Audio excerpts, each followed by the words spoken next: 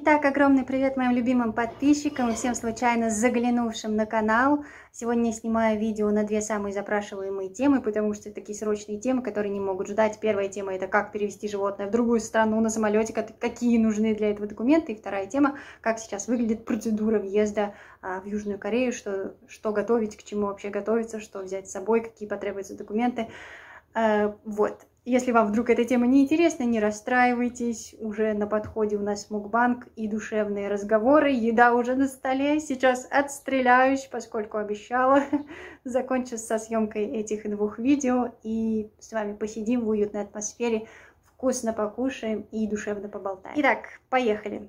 Сегодня расскажу о том, как же перевести с собой своего любимчика, своего питомца, если вы вдруг переезжаете жить в другую страну. Самое, наверное, тревожное мысль, которая всех посещает, э, который, людей, которые готовятся к этой процедуре, что я что-то сделаю не так, и мое животное там не пустят, да, не выпустят из страны или не пустят в страну прибытия. Что я могу сказать? Не стоит из-за этого переживать.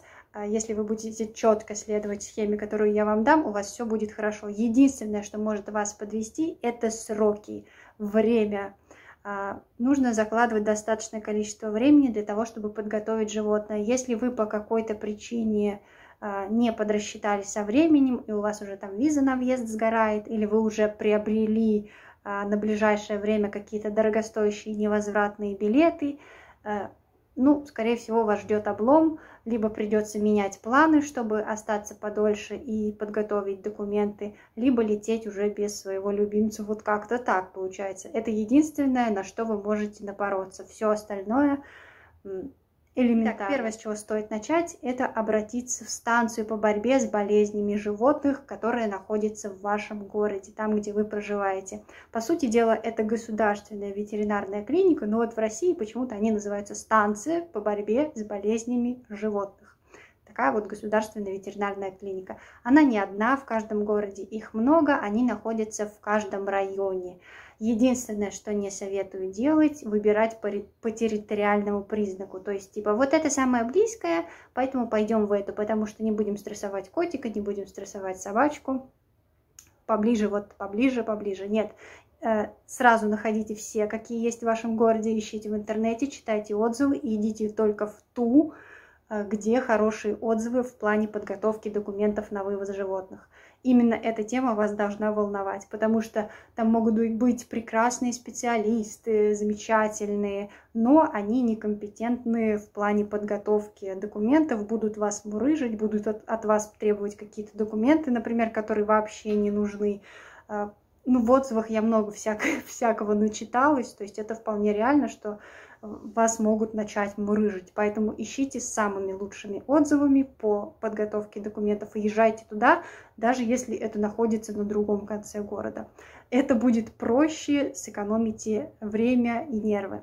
Итак, что вам потребуется э, сделать в первую очередь? Это международный ветеринарный паспорт, поставить прививку от бешенства и чипировать животное. Это вот все можно сделать за одно посещение. Также, если вы не уверены а, по поводу блох, э, паразитов, всяких глистов, то также попросите ветеринара обработать от блох и паразитов. Если вы это уже делали, то вам это делать не надо. Естественно, может возникнуть вопрос, а как же не будет же отметки в ветеринарном паспорте? Это совершенно не имеет значения. Если вы завели новый ветеринарный паспорт, а обработали ранее, например, паспорт получили сейчас, а обработали животное там месяц назад.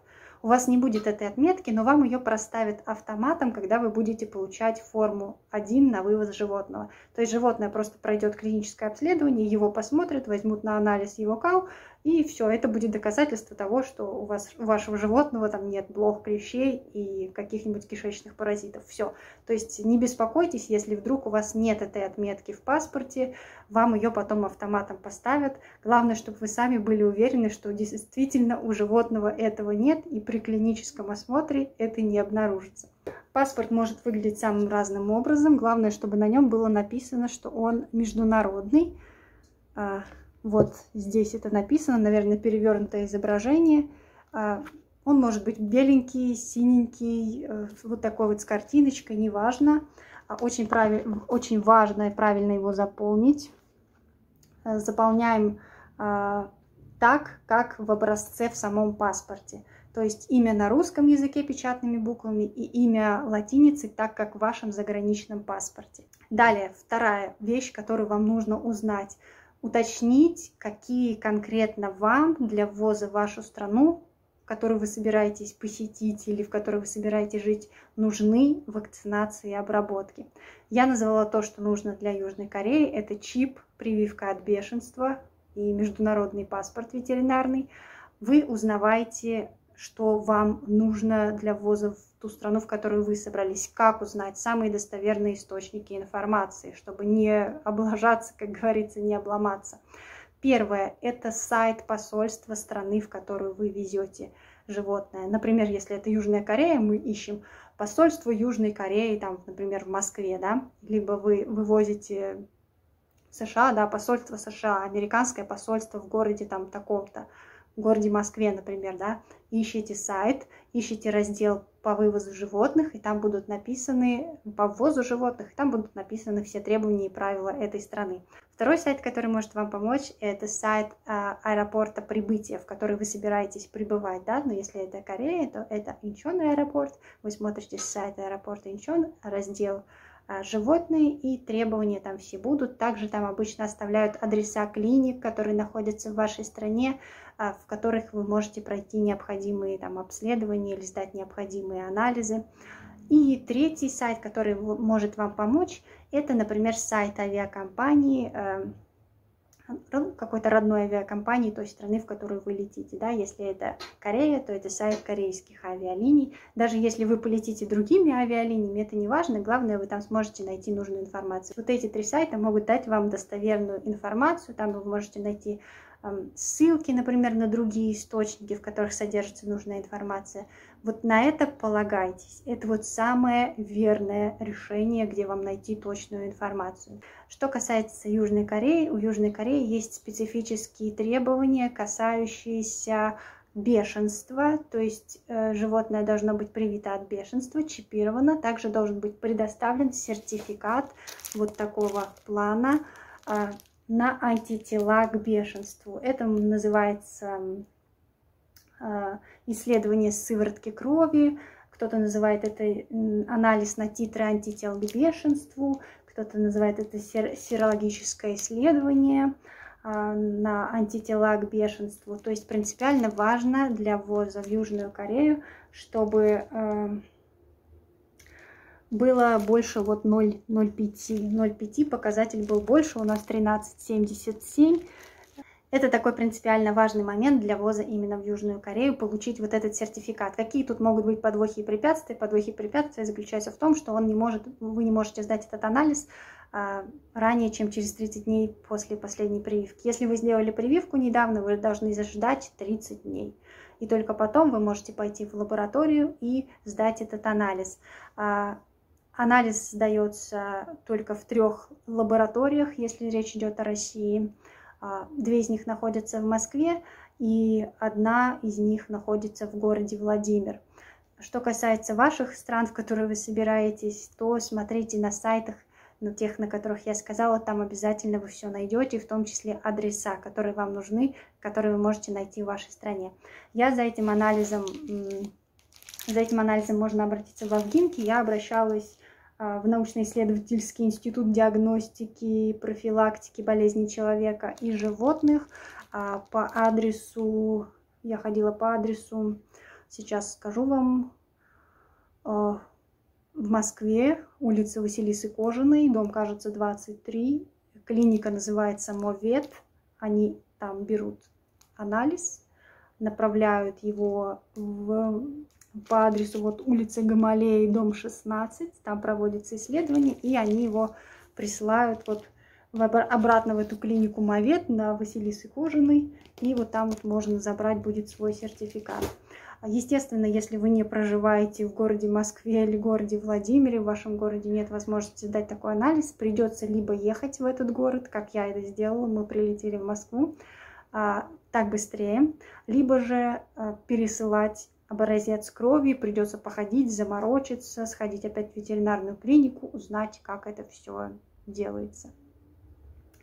Все, если касается Южной Кореи, вы все это сделали, вы готовы.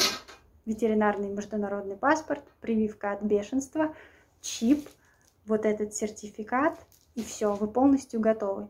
За несколько дней до вылета, кажется, не ранее, чем за 5 дней до вылета, можно и за 2, можно за 3, можно за день до вылета, вам нужно получить форму номер один. Вы идете опять в этот э, участок ветеринарный, в эту станцию по борьбе с болезнями домашних животных, записываетесь. Мы были в Москве, э, второй Лихачевский переулок, дом 6, кажется. Э, пошли туда э, за, кажется, за два дня до вылета или за день даже до вылета. Э, нужно принести с собой с утра анализ кала и кота. Э, проверят на паразитов, посмотрят на лишай, просто клинический осмотр животного проведут, и на основании предоставленных вами документов вам сделают форму номер один. Вам даже не надо знать, что это такое, вам ее просто сделают. Скажите, что мне нужна форма номер один, и вам ее сделают. Главное, принесите все, что нужно, все, все что есть, всю документацию на кота, которую вы собрали. А, с этой формы номер один мы отправляемся в аэропорт. Отправляться в аэропорт можно заранее, конечно же, с животным. Не обязательно делать это в день вылета, но не ранее, чем за 5 дней. Да? За 5 дней, 4, 2, 3, 1. Можно, конечно, рискнуть и в день вылета, но там вы будете нервничать, торопиться. Едем с этой формой, с этим сертификатом в аэропорт, который, из которого вы будете вылетать. Я вылетала из Шереметьево. Идем в пункт ветеринарного контроля с котом и документами, отдаем и там вам в обмен на форму номер один выдают форму номер 5А. Это такой рыженький сертификат, вот такой вот со всякими там, знаете, какими-то знаками, какими-то, ну, короче, супер серьезная просто какая-то бумага невероятная. Ее вам оформляют, оформляется на слава богу бесплатно. Это единственное, что, по-моему, бесплатно оформляется. За все остальное дерут деньги. Вот. И все, вы готовы. Для, для, того, для того, чтобы вывести животное в Южную Корею, по итогу мне понадобился мой ветеринарный паспорт, где есть э, информация о чипировании животного. Вот такая вот вклеечка. Вот здесь на страничках есть информация о прививочках, о вакцине от бешенства. Э, дальше обработку против блох и клещей мне поставили автоматом, потому что э, и против паразитов, потому что было проведено обследование просто вот за день до вылета. И ничего там не было обнаружено. У меня не было отметок об обработке, потому что обработки я делала до получения паспорта, поэтому зачем лишний раз животное травить. Все с э, вот этой бумажкой, с паспортом, и с формой номер один я поехала в Шереметьево. В Шереметьево мне дали сертификат 5А, форма 5А. С вот этой бумажкой, вот этой и сертификатом 5А я прилетела в Корею а, на пункте, где вы с чемоданом проходите последний контроль. А, меня остановили, подозвал меня человек, сказал, пойдите сюда, сюда, сюда, вам сюда. А, подошел к нам мужчина, он проверил документы, Кошку даже не стали смотреть, просто документы на нее посмотрели.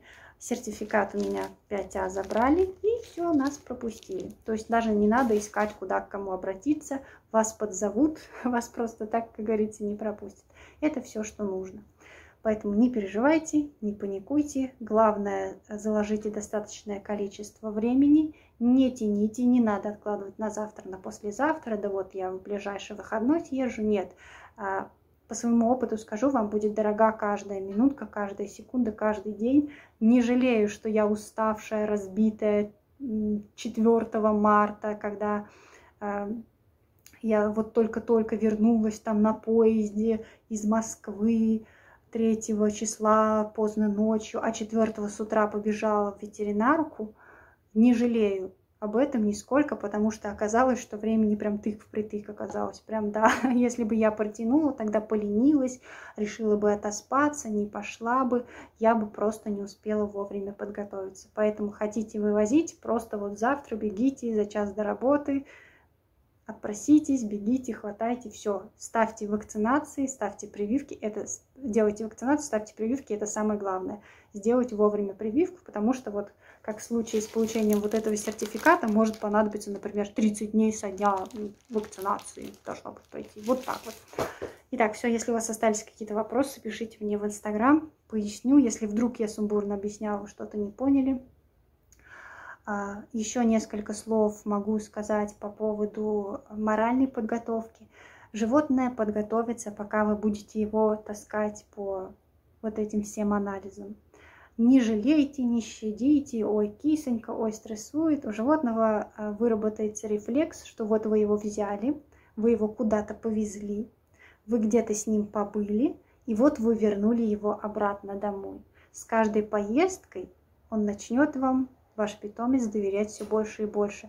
У него сложится логическая вот эта цепочка, что да, мы куда-то поехали, но мы сейчас закончим и вернемся домой. Все. И с каждой поездкой животное будет вести себя более и более спокойно э, и привыкнет. Это очень хорошо, потому что предстоит перелет на самолете. Э, это не так просто все.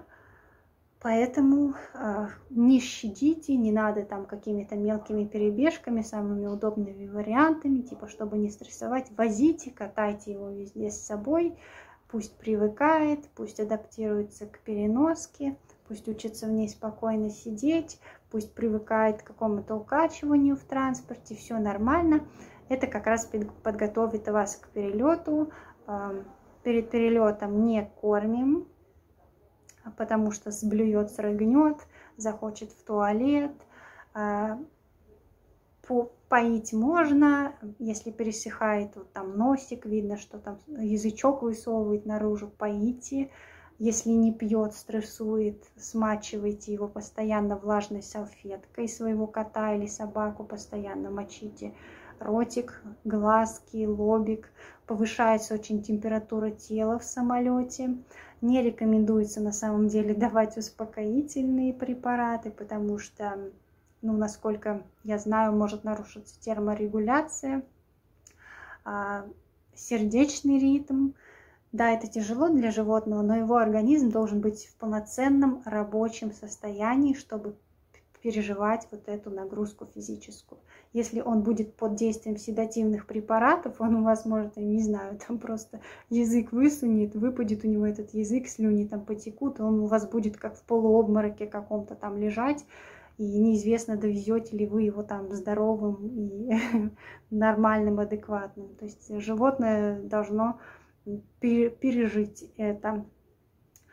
А, что касается паники, ну тут вы должны наладить контакт, э, успокоить животное можно, даже если оно запаниковало. Единственное, что вы должны понять, как вам это сделать. Да? Может быть, засунуть руку в клетку, почесать макушку, а там ухватить за лапу, не знаю, что там, приложить какую-то охлаждающую влажную салфеточку к колбу, просто поговорить, чтобы услышал голос хозяина, успокоился.